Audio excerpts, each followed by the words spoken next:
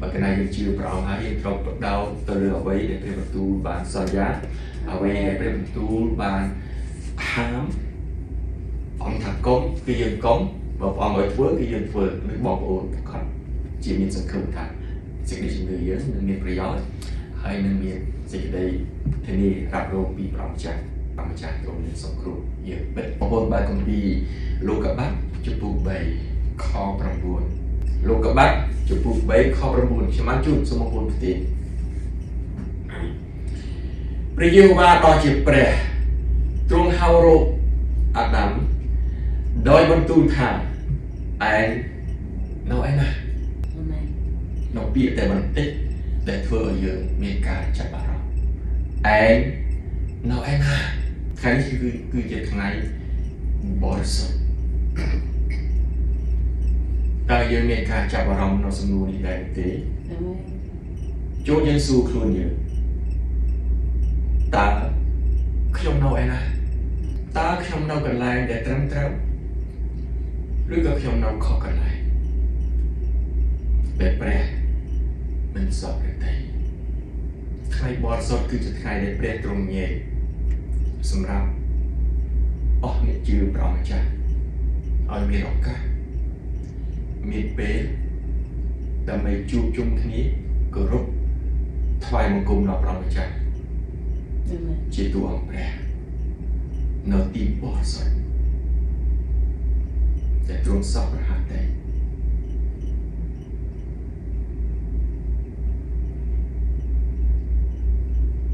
ចុះបើយើងមិនបាននៅក្នុងទីបរិសុទ្ធរបស់ព្រះនៅទីកន្លែងដែលព្រះម្ចាស់បានរៀបចំទុកសម្រាប់យើង ឲ្យជួបជុំគ្នាដើម្បីគោរពថ្វាយបង្គំដល់ព្រះអង្គតើយើងមានអារម្មណ៍យ៉ាងណាដែរនៅថ្ងៃបោះសុទ្ធអាមែនតើយើងប្រាប់ព្រះអង្គម្ចាស់ដោយសេចក្តីពិតត្រង់ចេញពីក្នុងជំរុចចិត្តឬក៏មួយយើងដោះសារចំពោះព្រះឬក៏យើងដាក់កំហុសទៅអ្នកដទៃ នៅថ្ងៃបោះសុទ្ធ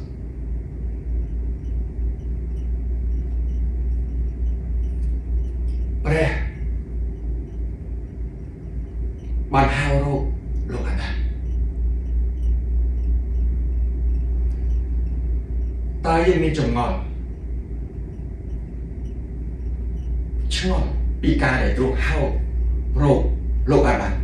ឯងនៅឯណា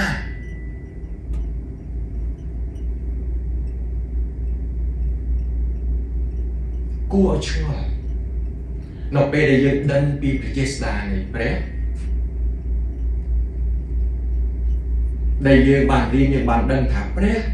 ទ្រង់ដឹងទាំងអស់អាមែនទ្រង់ជ្រាបទាំងអស់ម្ដេចក៏ព្រះម្ចាស់ចាំហៅសួររកលោកអាដាមដូច្នោះមែនទេបងប្អូនយើងគួរឆ្ងល់ ព្រះអង្គគួរតែដឹងព្រះអង្គម្ចាស់គួរតែឃើញបេចក៏ព្រះម្ចាស់ចាំបាច់សួរហើយហៅរកលោកអាដាមដូច្នោះ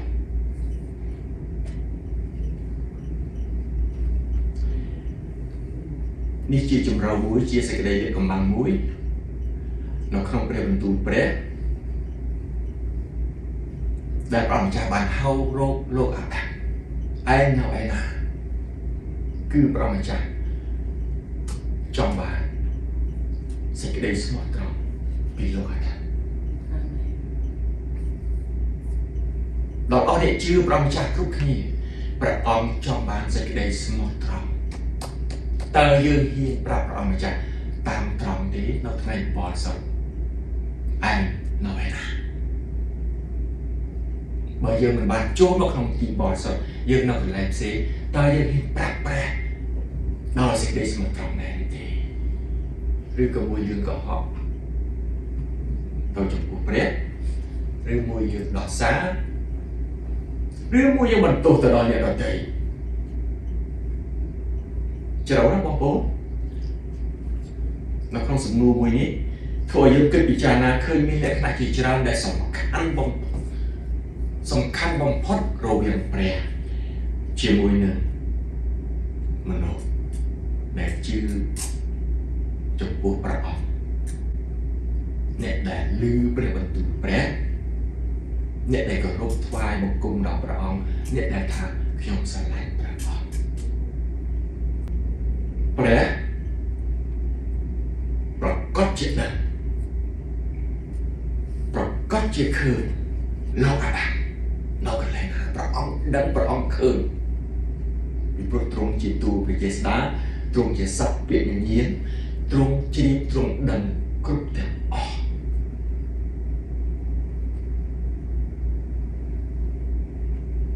ព្រះអង្គគ្រាន់តែចង់ដឹងថាតើចិត្តលោកអាដាមហ៊ានប្រាប់សេចក្តីស្មោះត្រង់ជាមួយនឹងព្រះអង្គដែរឬទេ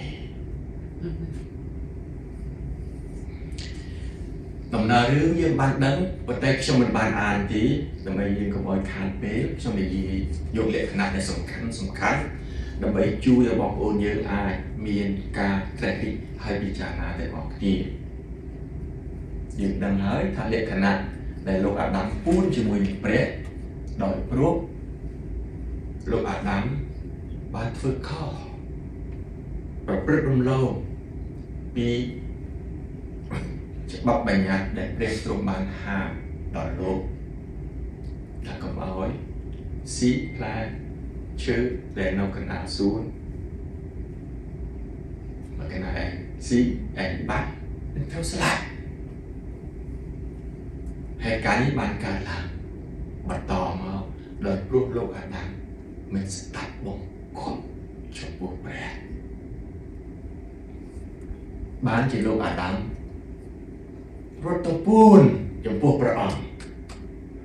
លោកអាដាមគិតឃើញថា ព្រះអង្គមិនឃើញព្រះអង្គមិនដឹងទេមិនใช่យើងមើលចម្លើយរបស់លោកអាដាមទាំងអស់គ្នាតើលោកអាដាមគាត់ឆ្លើយទៅព្រះយ៉ាងដូចម្ដេចសំណួរព្រះអង្គសួរថាឯងនៅឯណាព្រះអង្គចង់ដឹងទីកន្លែងដែលអាដាមនៅតែប៉ុណ្ណោះ តែលោកអាដាមមិនបានឆ្លើយនៅសំណួរដែលព្រះទ្រង់បានសួរហៅរកលោកឡាយអាដាមឆ្លើយផ្សេងទៅប្រាប់ព្រះតើលោកអាដាមក៏ឆ្លើយដូចម្ដេចឆ្លើយថាស្ត្រីដែលទ្រង់បានប្រទានឲ្យនៅជាមួយនឹងទូលបង្គំ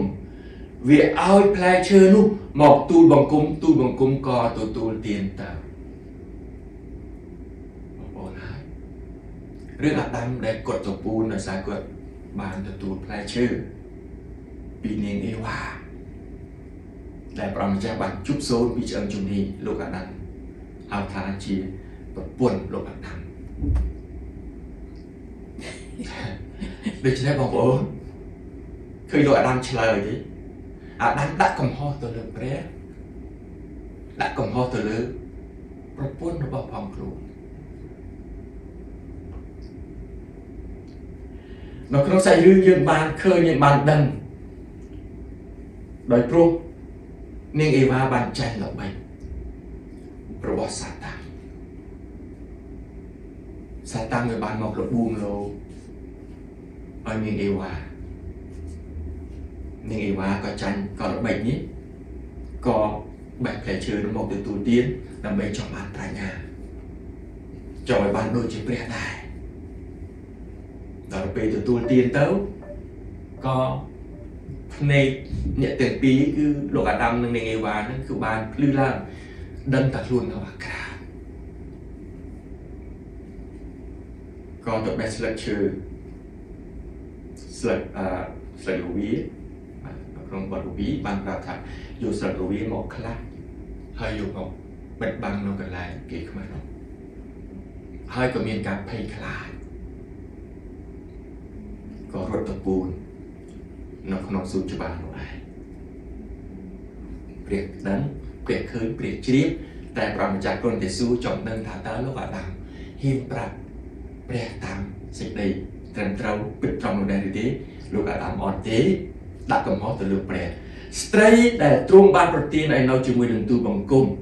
វាឲ្យផ្លែឈើនោះមកទូលបង្គំទូលបង្គំក៏ទទួលទានទៅ លោកអាដាមគិតថារួចខ្លួនហើយ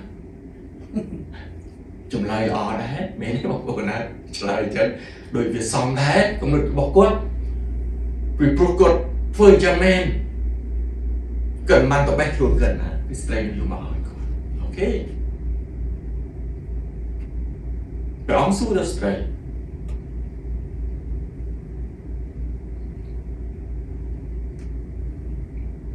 ពេលដែលព្រះអង្គម្ចាស់សួរដល់ស្ត្រី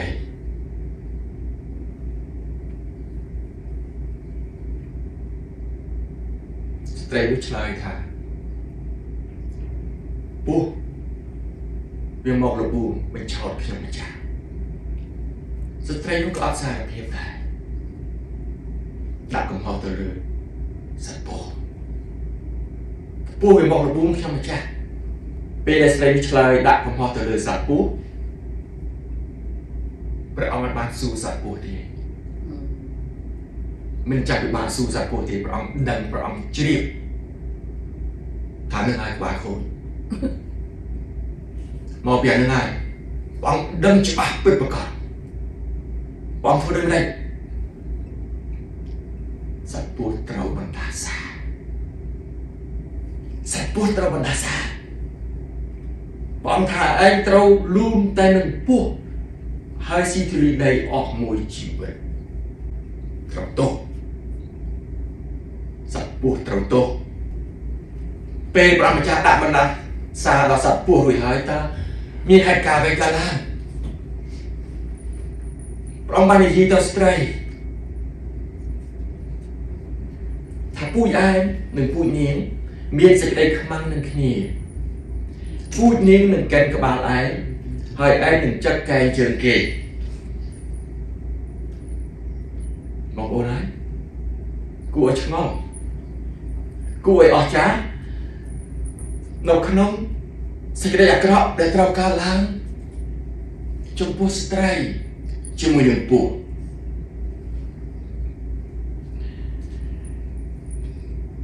បន្តមកទៀតព្រះម្ចាស់ក៏មានបន្ទូលថាឯងនឹងបង្កើតកូនដោយការឈឺចាប់ ស្ត្រីនឹងត្រូវបង្កើតកូនដោយការឈឺចាប់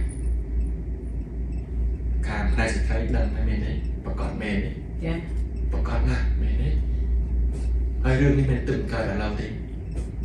គឺតាំងពីដំបូងមកអស់រហូតដល់ខ្មែរយើងមានពាក្យមួយអត់ថាកើតកូនទេដាក់ថាឆ្លងទន្លេព្រោះអ្វី ពីព្រោះការឆ្លងទន្លេមានរសហើយនឹងស្លាប់អ្នកខ្លះអាចឆ្លងផុតអ្នកខ្លះអាចឆ្លងអត់ផុតមកពេលដែលកើតកូនមានឃើញមានអ្នកខ្លះក៏ត្រូវអស់ជីវិតដោយសារពេលដែលកើតកូនក៏មានដែរគឺត្រូវ100%ចំពោះស្ត្រីមានការនេះកើតឡើងយើងឃើញថាស្ត្រីនោះគឺ ថាពូជឯងនិងពូជនាងមានសេចក្តីខ្មាស់នឹងគ្នាជាមួយនឹងពស់ពូជនាងនឹងកែក្បាលដែរដូច្នេះយើងឃើញសត្វពស់ជាមួយនឹងនោះដូចនេះពស់វាចាក់កែជើងយ៉ាងនេះហើយយើងក៏មានអំណាចជឿក្បាលដែរដូច្នេះយើងឃើញថាអ្វីដែលព្រះបន្ទូលបានមានដោយសារកំហុសមិនព្រមឆ្លើយប្រាប់ព្រះតាមត្រង់ គឺកំហុសនេះបានទទួលតាំងពីមានថាដើមយើងរហូតមកដល់ពេលបច្ចុប្បន្នសពថ្ងៃនេះនៅអត់ទាន់អស់ទៀតនៅមានតទៅទៀតពេលដែលព្រះម្ចាស់ពេលដែលសត្វពុះត្រូវបណ្ដាសាពេលដែលស្ត្រីត្រូវមានទុកដូច្នេះអាដាមបែបអង្គុយញញឹម អាពីនេះនេះអានេះខូចនៅសំមុខយកនេះអាចធ្វើចឹងត្រូវហើយបែបអង្គុយអស់សប្បាយលោកអាដាមមើលទៅបែបសប្បាយមែនទេយ៉ាណាក្រុមចិត្តគេនិយាយមកគឺសំអង្គធ្វើចឹងសំមែនទេចុះជំរឿអាដាមវិញយ៉ាងម៉េចអូខេអាដាមបងនិយាយទៅលោកទៅលោកអាដាមអាដាមភ្ជាប់ខ្លួនពេលព្រះអង្គនិយាយទៅអាដាម ដោយព្រោះឯងបានស្ដាប់តាមប្រពន្ធឯងហើយស៊ីផ្លែឈើនោះដែលអញហាមមិនអោយស៊ីឡើយនោះដីត្រូវបណ្ដាសាដោយព្រោះឯងឯងត្រូវរកស៊ីពីដីដោយនឿយហត់អស់មួយជីវិតសំមកវាមកវិញសំទាំងអស់គ្នាទេទឹកបែកនេះទឹកបែកនេះគឺសំទាំងអស់គ្នា ដោយព្រោះអីដោយព្រោះអត់សារភាពអត់និយាយពិតត្រង់ទៅរកព្រះអង្គធ្ងន់មែនទេចឹងបងប្អូនសប្តាហ៍កុំឲ្យខឹងការងារណាខ្ញុំប្រាប់បងប្អូនអ្នកធ្វើការកុំឲ្យខឹងសោះព្រោះមានដាដើមយើងបានធ្វើការនេះវាឆ្លងមកដល់យើងគ្រប់គ្នាយើងអត់ដឹងអីទេប៉ុន្តែវាឆ្លង ជុំឃើញថាបងប្អូនសប្តាហ៍ខឹងការងារមែនទេពិបាកមែនទេក្រោកឡើងទៅអង្គអង្គុយផងទៅធ្វើការអ្នកក្រោកធ្វើការពិព្រឹកវេទនាមែនទេពិបាកណាស់ខែក្តៅគ្រាន់ខែល្ងាគឺពិបាកមែនទេបងប្អូនដេកមកផ្លាំងភ្លឺបាត់ហើយដូច្នេះយើងក៏ធឹងថប់ប៉ុន្តែការនេះកើតឡើងដល់មេត្តាតាមយើងលោកអាដាមគិតថាមិនអីទេជាហងមួយដល់ធ្ងន់ ព្រះអង្គឲ្យនៅក្នុងសួនច្បារគ្រាន់តែដើរថែមើលបែកបែកជឿស៊ីមិនមិនមិនមិនមិនធ្វើតាមដូច្នេះដីត្រូវបណ្ដាសាលោកអាដាមត្រូវធ្វើការដោយនឿយហត់អស់មួយជីវិតអត់មានកំណត់ឆ្នាំនេះបងប្អូនណាឆ្នាំបងប្អូនបានប្រហែលធ្វើការរហូតដល់ស្លាប់មានអ្នកខ្លះក៏ដូចខ្ញុំនៅក្នុងពេលសពថ្ងៃនេះធ្វើការរហូតដល់យើងស្លាប់ចាក់ចេញពីជោគជ័យនេះប៉ុន្តែអរគុណព្រះទឹកដីថ្មីនេះ យើងបានវិថាយបងប្អូនក្រាបបានវិថាយគ្រឿងបើបន្តិចមែនទេយើងមានឱកាសយើងមានពេលសម្រាប់ខ្លះអាមែនដូចតែស្រុកខ្មែរខ្ញុំជឿថាអត់មានវិថាយទេបាទគាត់ធ្វើគាត់ធ្វើទៅដល់ត្រឡប់ទៅវិញចាពីខ្ញុំបងប្អូនស្រុកខ្មែរដែលវិថាយអរគុណព្រះដែលព្រះអង្គចាស់បានជួយបន្ធូរយើងបន្តិចខ្ញុំមិនទូស្រាយទេមិនធ្ងន់មិនធ្ងន់ដោយលោកអាដាមទេលោកអាដាមគឺអស់មួយជីវិត រោគស៊ីពីដីដោយអស់មួយជីវិតកាច់គោះលួយហត់បែកញើសទើបបានផលមកជាអាហារសម្រាប់ជីវិតយើងមានកម្រិតគឺដូចម្ដេចនៅថ្ងៃបរិសុទ្ធ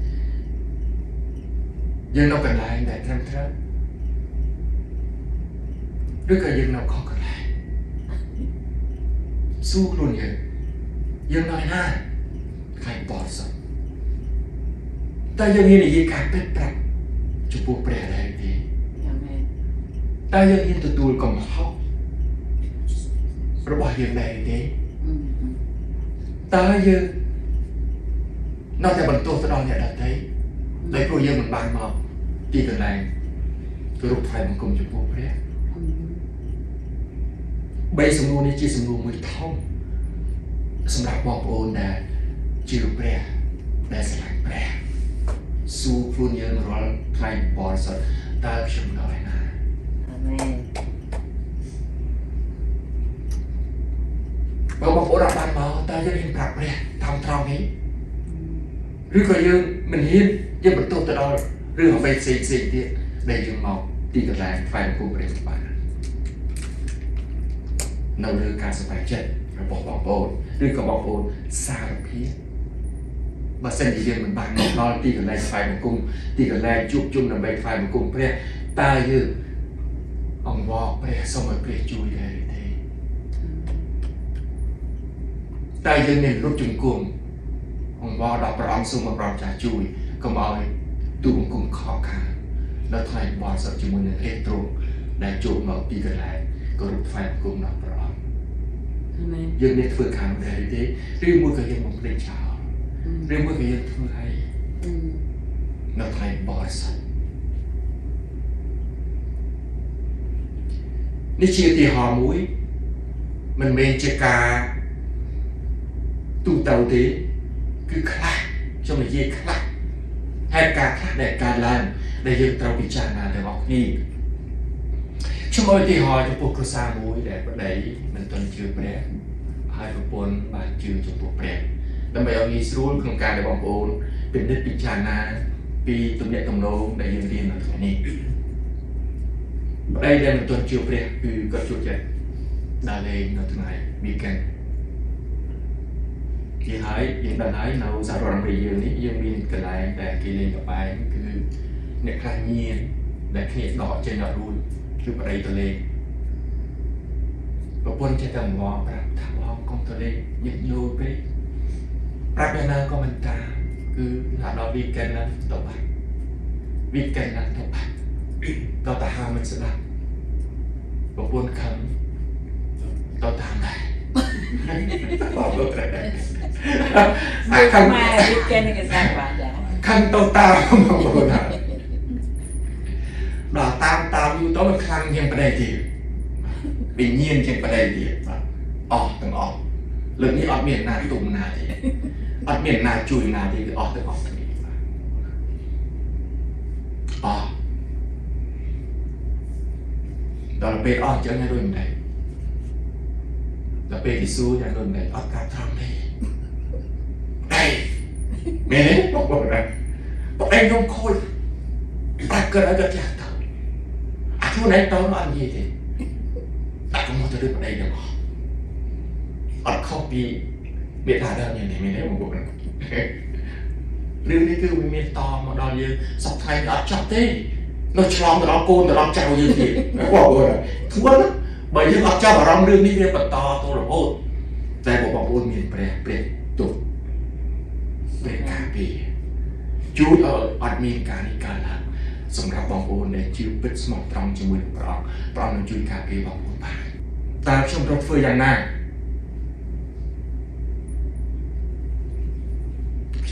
ខ្ញុំត្រូវដាក់កំហុសទៅលើអ្នកដទៃឬក៏ខ្ញុំត្រូវអង្វរចំពោះព្រះនៅថ្ងៃបរិសុទ្ធបើខ្ញុំមិនបានចូលមកគ្រប់ថ្ងៃបង្គំចំពោះព្រះអង្គយើងសួរខ្លួនយើងបើយើងខុសយើងសារភាពចំពោះព្រះបើយើងធ្វើការនោះមែនកុំឲ្យដាក់កំហុសទៅដល់អ្នកដទៃសូមមើលគម្ពីរសុភាសិតចំពោះ28ខ13និងខ14 អ្នកណាដែលគ្របបាំងការរំលងរបស់ខ្លួន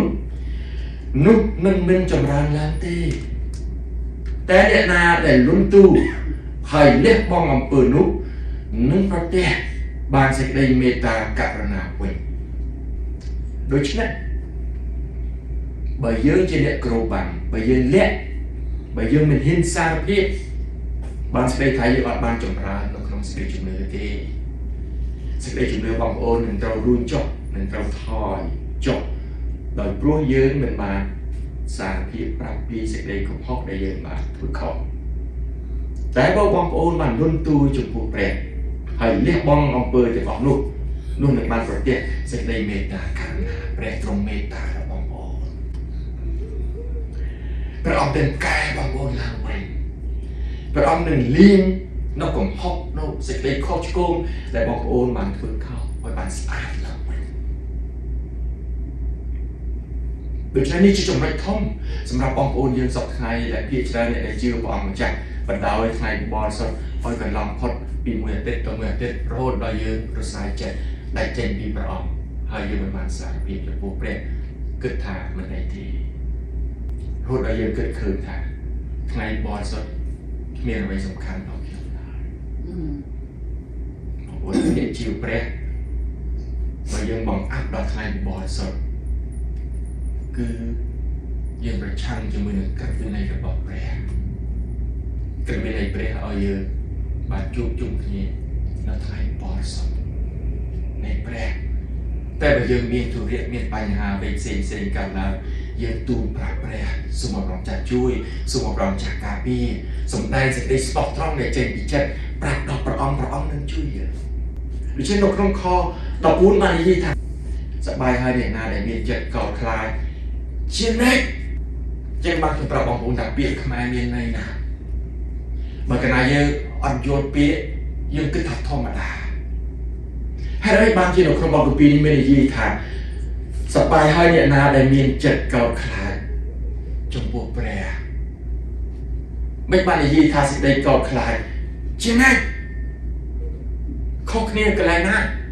ខុសគ្នាដូចមេឃនឹងដីបងប្អូនយល់ពីពាក្យយល់ពីជំរឿនៃព្រះបន្ទូលព្រះបានបើកសម្ដែងគឺខុសគ្នាដូចមេឃនិងដី